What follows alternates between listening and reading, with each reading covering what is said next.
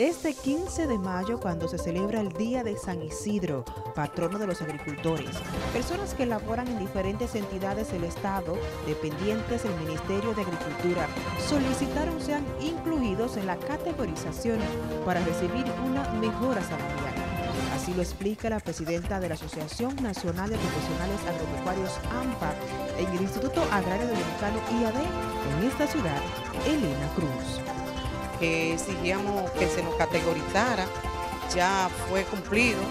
Se dijo que era a partir de enero del 2019, pero es retroactivo, o sea que no van a, le van a pagar. Pero en las demás instituciones, como es el caso de Medio Ambiente, IAD, a la cual yo pertenezco, Indocafé y Nespre, bueno, las demás instituciones no se ha cumplido con el con la disposición del presidente de la República de que se nos aumenta, de que se nos categorizara por tiempo en servicio y, el título, y el título.